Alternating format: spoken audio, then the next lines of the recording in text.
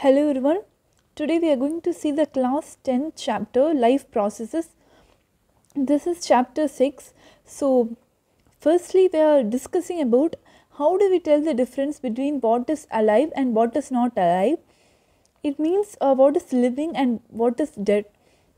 So imagine we are seeing a dog running or a cow chewing curd or a man shouting loudly on the street. We know that they are living beings because uh, they are showing some movement. So uh, what will we think if the cow or the man uh, or the dog were sleeping? Still we will think that they are alive. But how do we know that? We see them breathing so that we know that they are alive because non-living things do not breathe you have a lot of non-living things around you like chairs handbags or bed sheets you know that they do not breathe so uh, this is a property which you can distinguish between the living and the non-living. So then what about plants? Do you see them visibly breathing? No right? So how do we know that they are alive? So usually um, if you have plot, uh, potted plants in your home, you can see that um, the their leaves are green in color. If you forget to water them for a few days, they slowly turn to brown and then the plant starts to die. So uh, how do we know that plants are alive? We see the green leaves and think they are alive. So what uh, so what about plants that have leaves of other colors than green? For example you have poinsettia the christmas plant in which the uh, leaves are of both green color and a uh, sort of pink like color. So uh, even then uh, you know that plants grow over time. So you know that they are alive because only living things grow then uh, also uh, in other words uh, we tend to think of some sort of movement either it's growth related or not for uh, common evidence for being alive. But uh, you know that uh, you have small bushes you might have small bushes in your home which do not grow up after a certain height. So you know that they are still alive but they do not grow and also some animals can breathe without visible movement so using visible movements as the defining characteristics of life is not enough. We cannot just say that because a thing is moving, it is living and a thing which is not moving is not living. You need more evidence. So, uh, movements over very small scales will be invisible to the naked eye. For example, the movement of molecules. You know that um, everything is made up of atoms and molecules so uh, for example you can't see actually see atoms. And as well as you can't see molecules.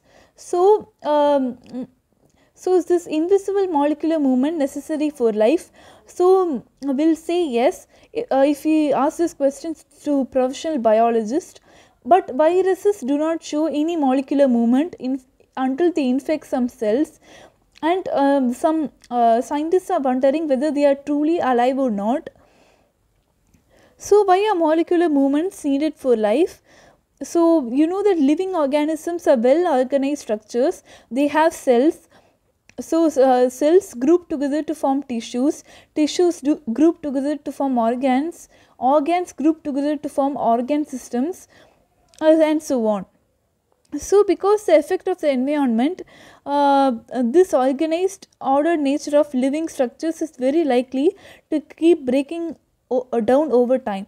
So if you are living in a home or a flat you know that it needs maintenance over time.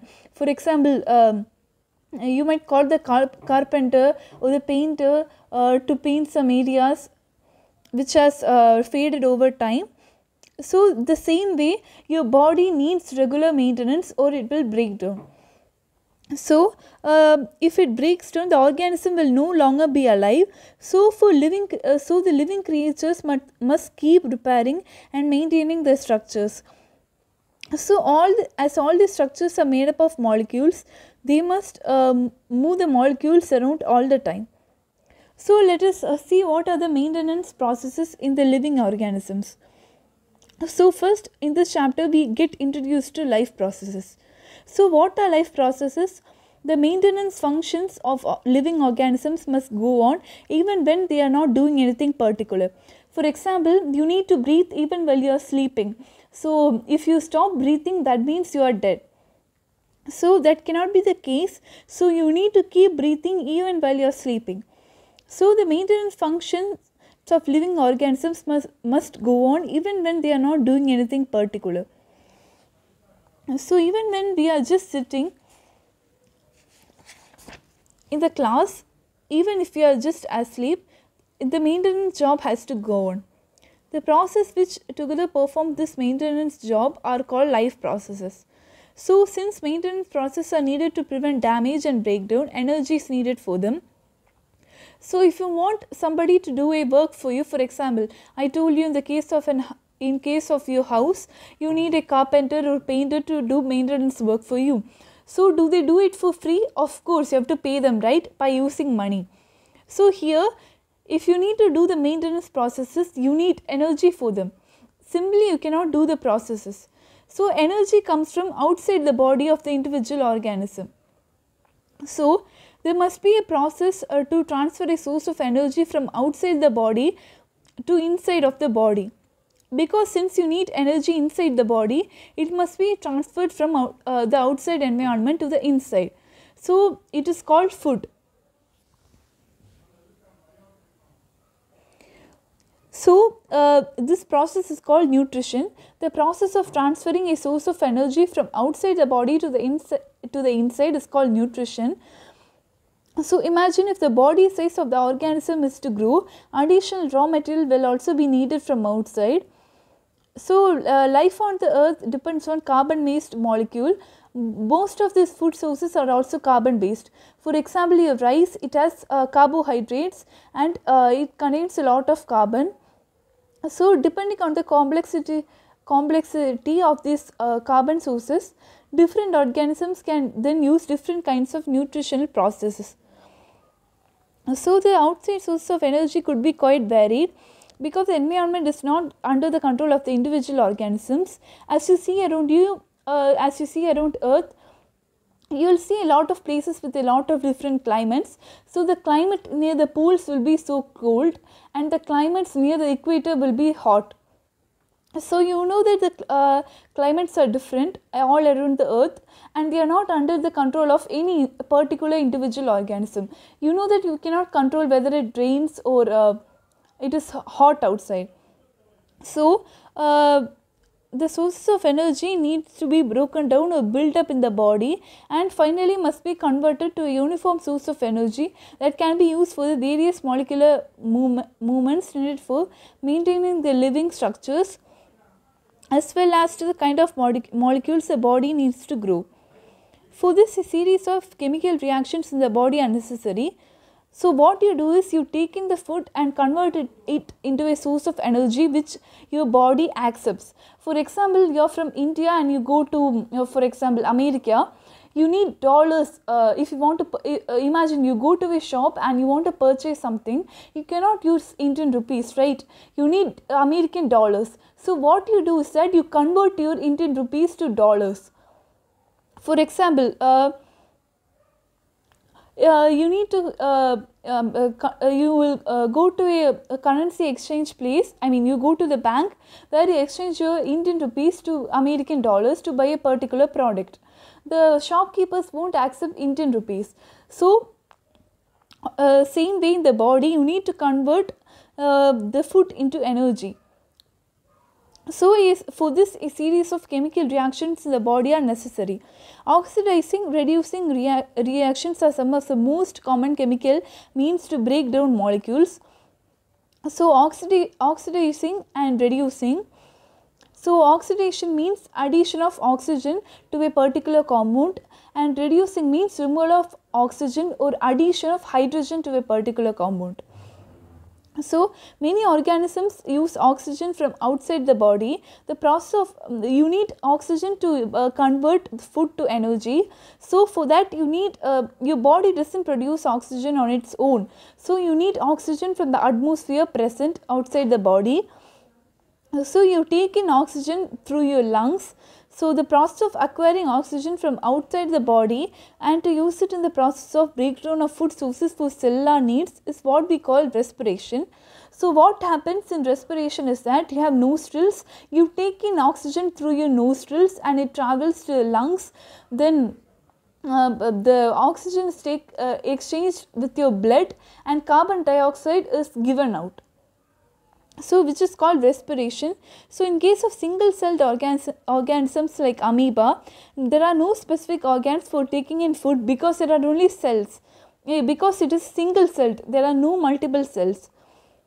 So in such cases, exchange of gases or removal of waste may be needed because the surface of the organism is in contact with the environment. But what happens in the body size of the organism increases and the body design becomes more complex. In multicellular organisms, all the cells may not be in direct contact with the surrounding organisms, the surrounding environment. So, simple diffusion will not meet the requirements of all the cells. So, you know that uh, you see uh, um, the cells of your heart are not in direct contact with the environment and they don't take in oxygen just like that. Your lungs has to take in oxygen and it has to be transported through the blood if it has to reach your heart cells. So, uh, you know that how multicellular organisms have specialized um, uh, body parts and they perform uh, specialized functions. So, we know about specialized uh, tissues and their organization, the body of organisms. It is not surprising that the uptake of food and oxygen will be also the function of specialized tissues, but this poses a problem as since food and oxygen are now taken at one place in the body of the organism, while other parts of the body needs them. So, you know that uh, the food uh, or uh, uh let us take for example the air you breathe in arrives at the lungs and uh, but uh, the other parts of your body for example your heart cells and the cells of your legs cells of your other organs need it. so, this situation creates a need for transportation system for carrying food and oxygen from one place to another. For example, imagine a country so um, you may have uh, people from outside the country who send you letters, mails and other stuffs. So when they send the letter, they go to the main post office of the country. So from there it has to be, it is distributed to the sub post offices and the postman takes them from there to your home. So if there is no transportation system, you will not get letters to your home. So uh, the same way we need a transportation system in our body which is the blood it carries oxygen and the food uh, through the body.